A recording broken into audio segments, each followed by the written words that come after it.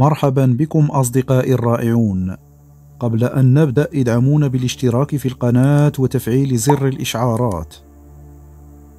عندما قلت إنني أريد إنشاء علامة تجارية جديدة للسيارات اعتقد الناس أنني مجنون. لكنه حلم أصبح اليوم حقيقة. هذه الكلمات هي التي قالها شاب مغربي بمناسبة حفل تقديم نموذج أولي لمجموعة جديدة من السيارات. هذا الشاب المغربي واحد من الشباب القليلون في العالم الذين يحملون أفكارا ثورية تطمح لتغيير محيطهم والعالم. المملكة المغربية واحدة من بلدان العالم التي تزخر بمثل هؤلاء العباقرة. وفوز النجاح واحد منهم. فكرته العبقرية هي ابتكار سيارة تحمل اسم نام إكس. إنها أول سيارة في العالم تعمل بنظام حاصل على براءة اختراع متكون من الخزانات القابلة للإزالة والتي ستحدث نقلة نوعية في تجربة التنقل النظيف باستخدام الهيدروجين الأخضر. لأن العالم أصبح ينظر للهيدروجين الأخضر على أنه بديل عالمي للطاقة لحركة إزالة الكربون.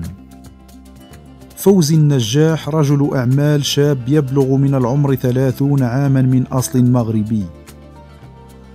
ولد في إقليم فالدواز ضواحي باريس بفرنسا من عائلة مغربية مهاجرة تنحدر من الراشدية بالجنوب الشرقي للمملكة.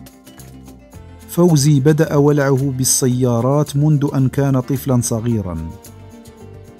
لطالما طور شغفه بالسيارات والابتكار في إطار التغيير وضرورة الإنتاج النظيف. يقول الشاب المغربي إنه استغل تجربة والده العامل المغربي الذي عمل لأكثر من 35 عاما في مصنع سيارات رينو الفرنسية ليصنع شغفه وولعه بعالم السيارات. وبالإضافة إلى هذا الشغف كان لدى فوزي دائما اهتماما معينا بحماية البيئة.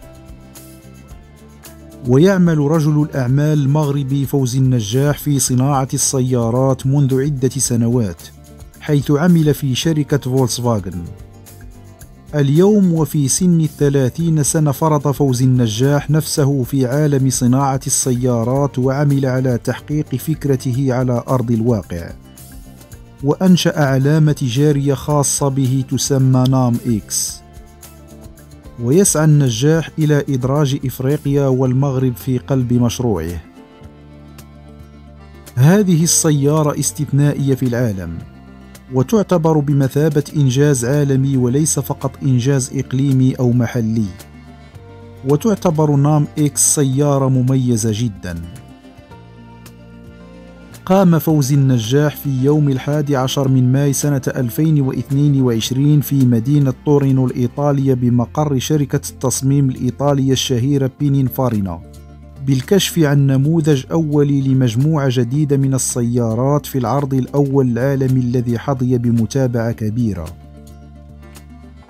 وتعتبر سيارة NamX من نوع HUV كبيرة جدا. بطول يبلغ 4.9 متر.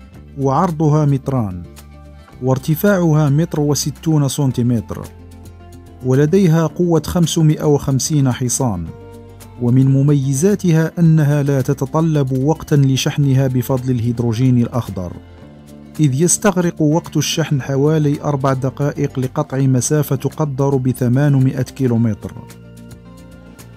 وللإشارة أصدقائي فإن شركة ساما بينينفارينا وهي شركة إيطالية قامت بمشاركة خبراتها مع مهندس شركة نام إكس من أجل تصميم هيكل السيارة.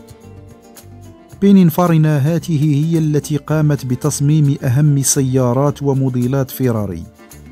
لذلك نجد سيارة NamX ذات تصميم جذاب للغاية. فوزي النجاح قال في تصريح لأحد المنابر الإعلامية أن الهيدروجين الأخضر أحد الحلول لرفع تحديات الانتقال الطاقي، لا سيما ما يتعلق بالتنقل. وعن طريقة عمل السيارة، حيث أنها تعمل بالهيدروجين الأخضر. هي سيارة ذات محرك كهربائي ولكن الكهرباء فيها لا تأتي من بطارية ولكن من خلية وقود والتي تحول الهيدروجين إلى كهرباء إذا كان الهيدروجين متاحا. فكل ما تبقى هو تخزينه في خزان بالسيارة وتوصيله بخلية وقود لإنتاج الكهرباء. أما بالنسبة لمستقبل تصنيع هذه العلامة يعتبر فوزي النجاح أن المغرب بلد مهم للغاية بالنسبة له ويعتبره الوجهة الأولى لتصنيع سيارته.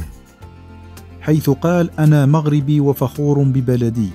مشيرا إلى أن الفكرة انطلقت في باريس بخلفية من الكوادر المتعددة الجنسيات المدربة ذات مؤهلات. علاوة على ذلك لقد بدأنا مفاوضات رسمية مع المغرب وستكون لدينا أخبار جيدة. وأضاف أن المغرب دولة مهمة ورائدة في صناعة السيارات.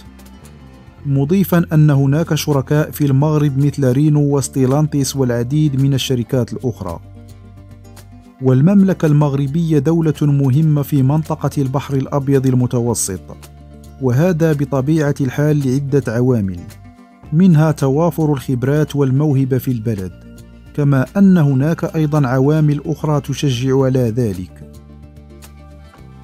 وقال فوزي النجاح أنه سيتم الإعلان قريبا وبشكل رسمي عن مكان الإنتاج. وكذا المتدخلين في عملية الإنتاج هاته وطريقة القيام بذلك. مضيفا أنه من الواضح أن المشروع سيربط أوروبا وإفريقيا وبشكل خاص المغرب. وفيما يتعلق بالسوق قال فوزي إن اهتمامنا هو أن يكون لدينا صناعة تكنولوجيا قوية في إفريقيا مرتبطة بمستقبل التنقل. أصدقائي، لا تنسوا دعمنا بالاشتراك في القناة وتفعيل زر الإشعارات.